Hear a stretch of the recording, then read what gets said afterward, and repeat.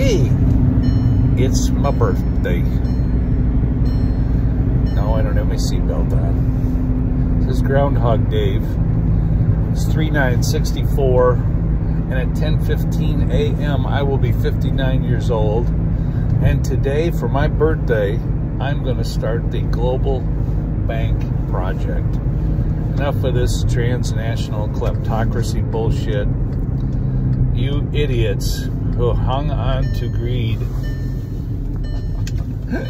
and are ruining the gross domestic product of every sovereign and destroying sovereign citizenship and ruining freedom, you're done.